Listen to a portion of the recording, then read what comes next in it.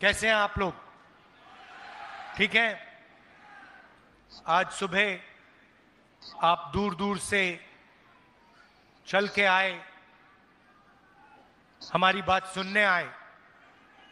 इसके लिए दिल से आपका मैं धन्यवाद करता हूँ। वनवासी और आदिवासी में ज़मीन आसमान का फ़र्क है।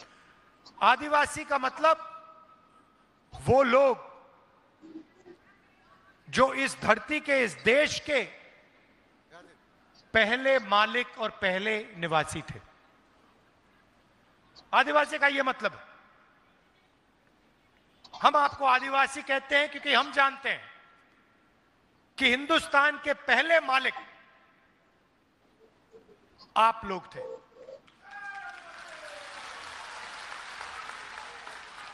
और अगर हम आपको आदिवासी कहते हैं तो फिर जल ज़मीन, जंगल का फ़ायदा हिंदुस्तान के पहले मालिकों को मिलना चाहिए।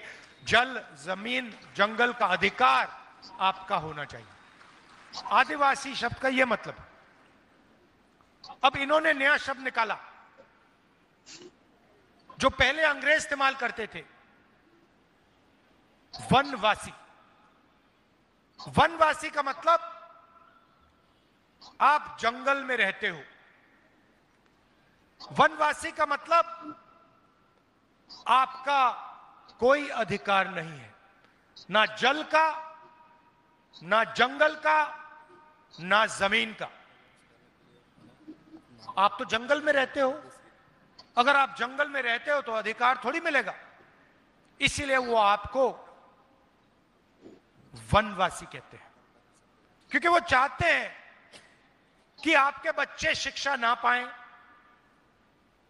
आपके बच्चे इंजीनियर ना बने, डॉक्टर ना बने, लॉयर ना बने, हवाई जहाज़ ना उड़ाए। इसलिए वो आपसे कहते भाई, आप तो वनवासी हो, आप तो जंगल में रहते हो, आपको शिक्षा की क्या ज़रूरत? आपको इंजीनियर बनने की क्या ज़रूरत? आपको डॉक्टर बनने की क्या ज़रूरत? आप तो वनवासी हो। और हम कहते, नहीं, आप वनवासी नहीं हो। आपको वनवासी कहना आप पर अपमान है। आप आदिवासी हो। ये देश आपका था और इस देश में जो जंगल है, ज़मीन है, जब मोदी जी यहाँ आते हैं और आपसे कहते हैं कि आप वनवासी हो, उस शब्द के पीछे सोच है कि आप वनवासी हो। आप जंगल में रहते हो जल हमारा, ज़मीन हमारी, जंगल हमारा। आदिवासियों का नहीं, मोदी जी का, आरएसएस का और अरबपतियों का। जहाँ भी चाहते हैं, आपकी ज़मीन छीन लेते हैं।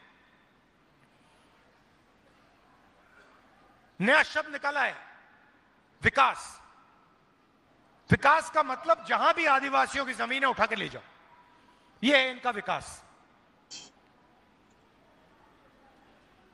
और हम चाहते हैं कि अगर आपकी ज़मीन जाए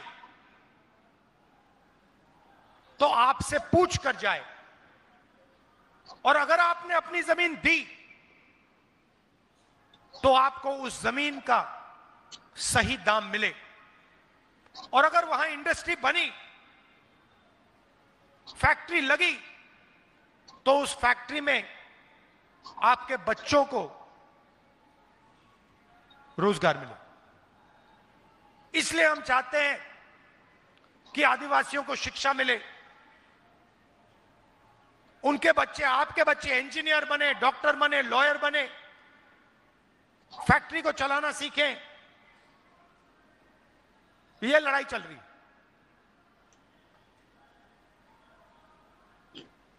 आप देखिए, इस देश में तकरीबन 8 परसेंट आदिवासी हैं। 15 परसेंट दलित हैं और तकरीबन 50 परसेंट ओबीसी हैं। और उसमें आप 15 परसेंट माइनॉरिटी जोड़ दीजिए हम इस अग्निवीर को खत्म कर देंगे। तो आपसे मैं ये कहना चाहता था, आप दूर दूर से आए, इतने प्यार से आपने हमारी बात सुनी। संविधान की रक्षा करनी है, एक साथ मिलकर संविधान की रक्षा करनी है, और जो संविधान को खत्म करने की कोशिश कर रहे हैं, उनको रोकना है। दिल से आपका धन्यवाद, जोहार, जय हिंद।